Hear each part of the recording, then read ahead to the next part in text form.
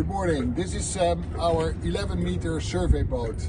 This vessel is made for an Italian customer who's going to use this autonomous and hybrid.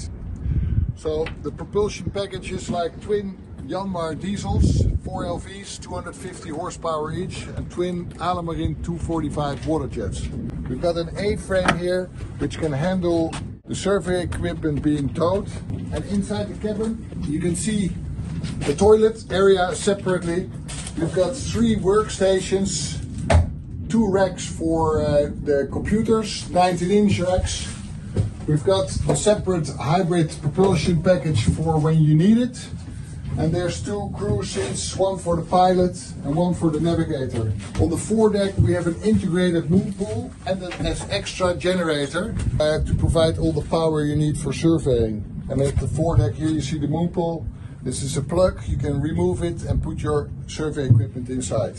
The whole boat weighs about six tons, has a top speed of 32 knots in, um, in transit mode and uh, can still be put on a truck to transport it anywhere. Thank you.